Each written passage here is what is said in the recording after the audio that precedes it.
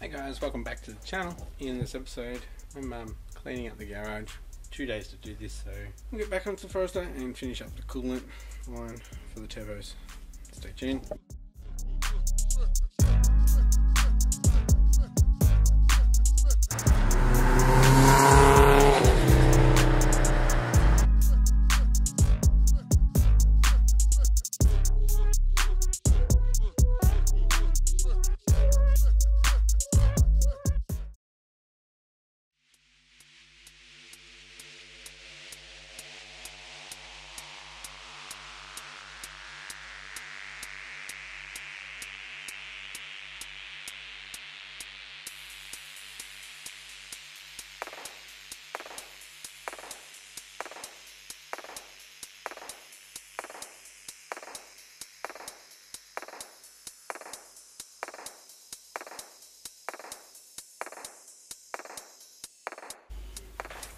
I've got some of these dog legs, so I can make some wider ones in the back to match the the wider ones.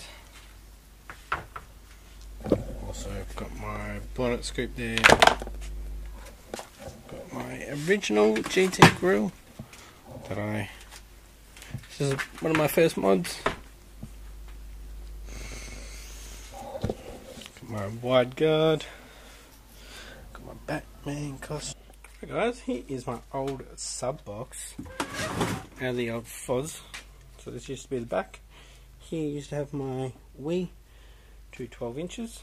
I had a push pull system. I've got one left. I used to have a Cadence, two Cadence Wild Beasts. I'll show you how they were mounted.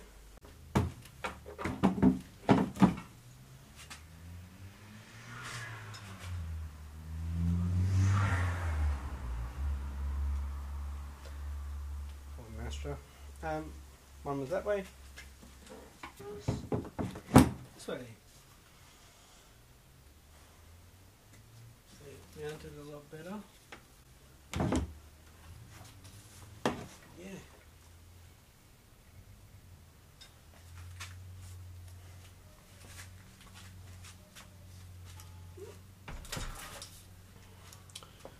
So that section um, so you just be able to fold down the seat so I could still fit my snowboard in. Um, yeah, it's now gone. Just take up the full um, spare wheel well too. But yep, that's finally going out. So all this expander foam.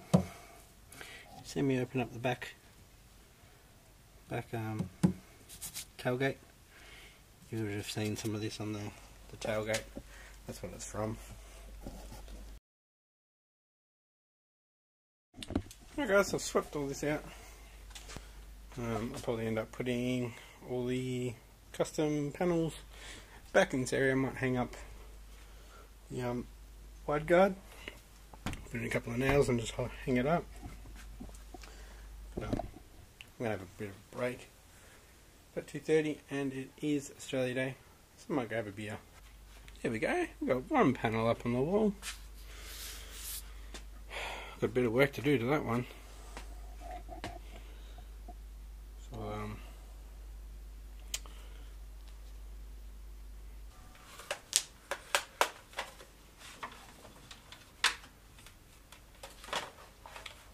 Three fifty Z. My drift car.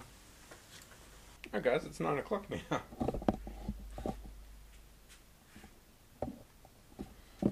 um not finished yet, but it's pretty good. Um, my old block is going to scrap. Little suspension over there that's going to scrap. Um, haven't even worked on this area yet. Gonna get it up on the stand and pull it apart and see what's going on. It's VQ35 there, guys. If you didn't know, that APS Canon is for free if anyone wants it in Melbourne. Pickup only. Then we've got custom panel stuff. Remote control. Yeah. See you soon. Hi guys, it's a new day. And it's still clean. I'm gonna get stuck into the Forester and do that other um, turbo coolant line. Hmm.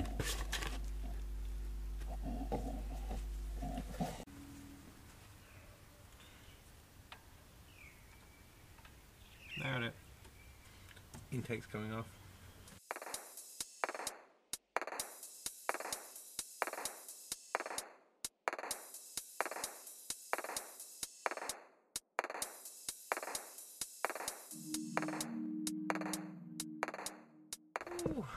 Try and get this bracket off here. Um, I put it on to get the engine in and out, but left it on and I can't get to the waterline bolt for the banjo, so Ooh, that was hard. Hmm, this is not going to work. The braid line is too long. Whew. Made up a hose for it. Um, again, it's the braided nylon black stuff. So it's actually um, pretty tight on AN threads. I know, shouldn't do this, but it's on there. Put one on the bottom and try to get it off without the clamp on it, and I really struggled. I had to actually unscrew the um, the hose from it, so it bites into it, clamped it.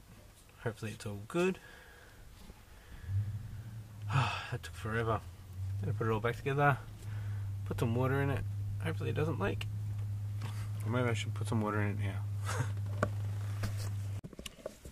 Got some coolant in there now, guys. Actually, put quite a bit in. At least now, I don't know if it's coolant that's on the top of the block or not, because I used to have blue stuff in there, and um, couldn't tell. Um, yeah, I'll keep filling that up. Bit of air in there. It's all back together now, guys. It's got coolant in it. Let's start it up and uh, see if there's any leaks.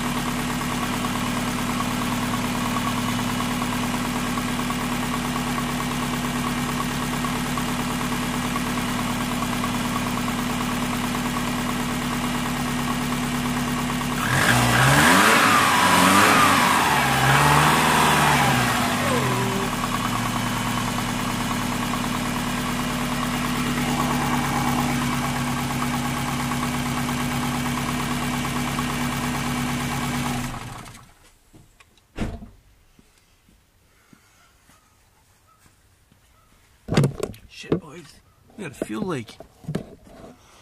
From um, this one.